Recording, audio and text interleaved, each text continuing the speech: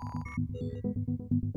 Hi guys, how's it going? Jake here from Esports Talk, back with another informative video and opinion piece that I hope you guys all enjoy. Okay, following some crazy news as of yesterday, guys, or a couple days back when we first covered this, Slasher, amidst other pro players giving their responses to the fact that COD Champs, the biggest single Call of Duty event of all time, $4.6 million. We'll touch on that in the back half of this story when it comes time for Optic Gaming as well. And that gigantic prize pool, guys, the entire event being moved online, caused a lot of responses. A lot of pro players out there saying, obviously, Obviously, for health issues, this was the best call to be made, but people like Slasher did voice their complaints of how, with online competition, teams like Optic Gaming, who we have seen complain time and time again, it would be unfair. It's a shame that Call of Duty League happens in the first season of this, you know, what's supposed to be a great franchise, hopefully still moving forward as well. The first season is going to be all up in the air because majority of it's been online, and it will not be fair for all teams. I don't disagree with him too much. I don't know if there's a solution out there as well. But speaking of solutions,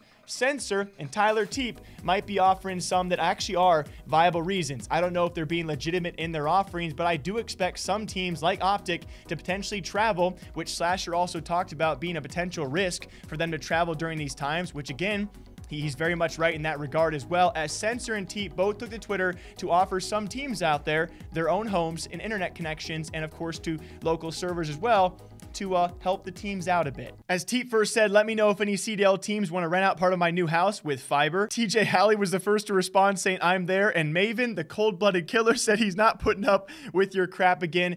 He obviously was joking, by the way, guys. And then Censor replied to Slasher saying, If you stay in Cali for champs, you're asking to lose, in my opinion. You're welcome to come to my crib and play on Thousand Thousand Fios. I'm, I'm sorry, guys. I don't know how to pronounce that, but I think it's Fios if you need a place. And my oh my, even Blast responding, yo, Censor later saying, lol. And this is why I love the Call of Duty scene. In case you guys don't know, for the first one, that being Teep, of course, being responded to by a guy like TJ, he had already stressed uh, his his issues with uh, coaching Optic Gaming in the past year, which TJ was a part of. For any outsiders who are unaware of that, they definitely had their back and forth and their issues, which Teep has vocalized. So it's funny that TJ was one of the first to respond. Obviously, they're jokes, okay? Just friendly banter. And then, of course, when it comes to Blast, being a part of the, the whole Censor jet ski incident before this season even started, and he's he's responding to Censor, golly. I love these Call of Duty storylines. We will see if any teams out there do travel to compete for that lion's share of $4.6 million. I do expect at least some teams to maybe give it a try, and they have their options and offers hopefully up in the air as of right now. Now, speaking of Optic Gaming, guys, what a I wanted to touch on this for a solo video. Why not partner it up, though? That being Chino announcing his benching just yesterday on Twitter. And um, let me try and put you guys in his shoes, okay? When I first see this, I feel for the guy who's been, you know, standing in for a time now with a roster who's already been struggling. They make these changes just weeks away, just over a month away from the biggest Call of Duty prize pool event of all time. And I imagine if Chino would have played the events up going uh, up until champs and including champs. I'm not claiming to know how their contracts work, but I imagine if he had played the upcoming events and COD champs as a starter, he would be probably due the same split as the other members of that team, if not a good portion of that.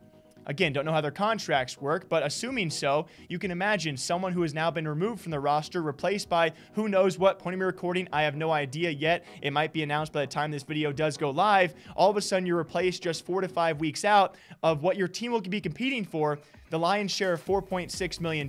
Now, Optic Gaming, they might not come away with much money at all, but the fact is this, they have a chance to win millions, if not hundreds of thousands of dollars, and all of a sudden, out of nowhere, five weeks out, you're removed from the roster and your chance to have a big financial impact in the rest of your life. You got to understand where this guy is coming from and why he was very, very upset, even before and probably during posting this video. Hey guys, just kind of wanted to make a video just to um, explain how I'm feeling right now and uh, what's my plan. Um, so last night I was pretty upset. You know, I was mad, angry, frustrated, everything like that. Um, but at the end of the day, I mean, those guys are some of my best friends. They're my teammates, and I mean, if they felt like this, uh, the decisions were the best for the team, then you know, it's best for the team. You know, I'm not gonna be frustrated about it. Just, you know, I, it's it's just hard, you know. But um, I mean, who knows? Maybe I'll get a chance to play a champs or something like that uh, if the team needs me, and then uh, next year, hopefully, I can become a starter. You know, just trying to do my best with what I'm giving, kind of. But uh, right now, I just plan on streaming every day, trying to have good vibes, stuff like that. You know, still still be the same guy I always am. But um, yeah, I just appreciate all the support, guys. Appreciate everyone always supporting, and uh, thank you guys so much. Have a great rest of your day. So best of luck, my man. I- am going to be honest, guys. I've never really covered something like this. The first thing I think about, because when it comes time for big prize pools like this, we just don't see these kind of changes this close to big events. It's like a, a Dota team changing out, making a roster change just weeks away from the international. That that's a that's millions of impact right there as well. So Chino, I feel for you, man. Sending my prayers and thoughts, and best of luck for the future. Because if I was in your shoes, I would be upset too. What do you guys think about that? Optic struggles continue. We'll see if they move and trying to improve on those struggles when it comes time as we slowly, slowly approach future events, upcoming events, and most importantly, COD Champs, which will be online. Until next time, drink that Wawa, drink that Kaka. I'll see you guys back here sometime soon.